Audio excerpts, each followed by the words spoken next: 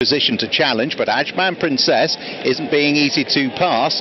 Siyoushake now comes in pursuit. Somidar hasn't found much yet. Ajman Princess from Siyoushake up on the outside. Smart Call's getting going with left hand, but it's Ajman Princess who's still in front from Siyoushake. Left hand's flying late, but Ajman Princess has made all to win it. Very close for second. Left hand in a photo with Siyoushake and Smart Call.